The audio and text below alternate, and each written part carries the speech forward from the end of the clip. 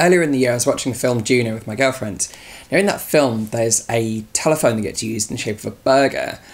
And uh, our girlfriend commented that it's one of those devices that sort of phones that she'd always wanted. No idea why, but uh, next day I kind of took the opportunity to kind of locate them on eBay and I ordered one. Kind of turned up a short time later. They're about five quid, really cheap plastic crappy phones, and they're designed for kind of the old fashioned phone networks that kind of plug in with a cord. It's not particularly useful nowadays.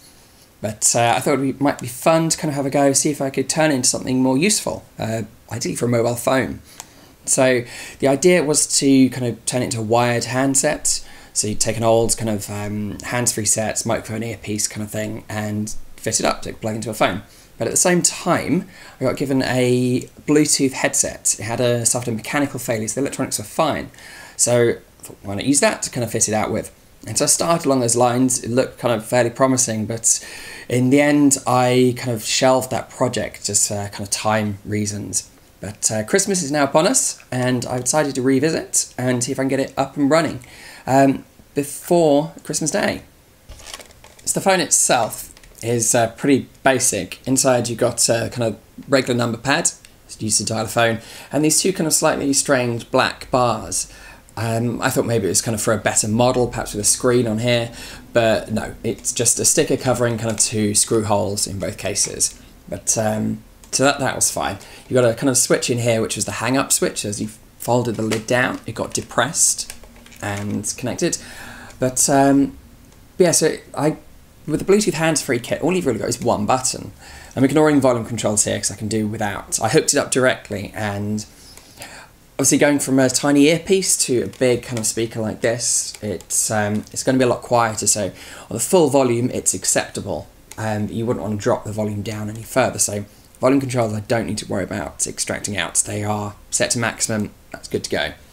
And so there's only one button, which is kind of uh, power on, power off, and kind of automated make a call type stuff. And so that needs to be brought through somehow.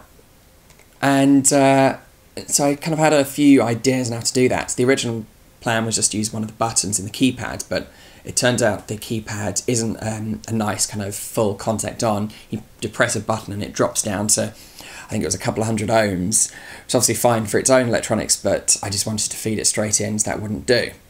It's not kind of good enough kind of button signal, so I need to put my own switch into here. Um, I started kind of looking at using the depress switch here, but it's slightly awkward, slightly odd. What I've decided to do now is to scrap this keyboard here. So 3D printed a little kind of plastic insert which will fit on the front. I've got a little small kind of PCB button on the back which will kind of recess, giving you a simple one button phone. Uh, that bit the way. The electronics on the back are pretty basic. We've got um, just the Bluetooth kind of module here, which at the moment I'm just kind of Blu-Tacking into place. The microphone and the headset are soldered directly onto the board. Um, no modifications, no changes were needed there. They've clearly kind of matched well enough for this to work. Um, it seems alright, so, so, I'm not going to mess with that. Uh, it charges with a micro uh, USB connector. There's a small uh, lithium polymer battery on board. And I had planned on potentially switching this up to a higher powered battery, but to be honest, it's this is probably never going to get used. It's a novelty item, like used once and put on a shelf, so I'm not going to go to the extent of switching out the battery of something that might last hours. It's just not needed. Um, but I do need some way of charging it. Uh, the connector on the board is pretty kind of close to the edge. Um, there's no way of recessing that, so I've used one of my little kind of uh, micro USB breakout boards here. And so that will fit on the other kind of back case, just in the back, so you can plug in a USB connector to it on and I managed to find um, there's a kind of uh, decoupling capacitor next to the USB connector, so I've soldered across there. The button is a little kind of onboard button here. I've left that in place and just tacked another couple of wires onto it here. That'll be wiring inside.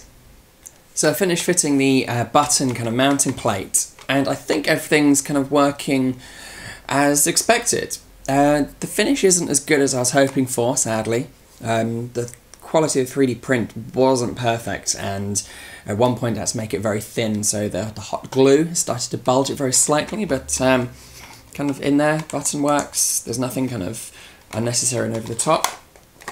Um, on the back, everything has been uh, roughly kind of glued down into place. Um, kind of got the Bluetooth headset module right into the switch in the back of the PCB.